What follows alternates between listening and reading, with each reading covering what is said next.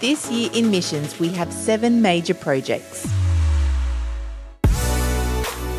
Locally, we'll be hosting our Easter Sunday Fun Day and Carols in the Park outreaches.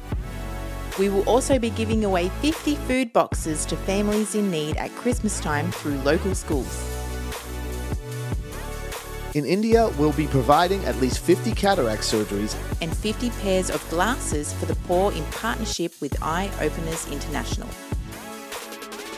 With AOG World Relief Vietnam, we'll be funding early detection clinics for children in school.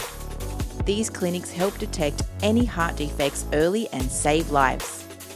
In Burundi, we're continuing to build homes for widows with Sister Connection. These homes help restore dignity and show the love of Jesus to some of the most vulnerable women on earth. In a village in Cambodia, we'll be digging a water well in partnership with New Life Fellowship. These wells provide a much needed clean water source and help pave the way for church planting. In partnership with Feed the Hungry, we'll be feeding 50 refugee children in Uganda for a whole year. Our kids' church will also be adopting this project as their own as they aim to feed at least 15 children for the year. These meals are delivered in schools and help children have a full life. All of our missions projects are funded by our missions giving.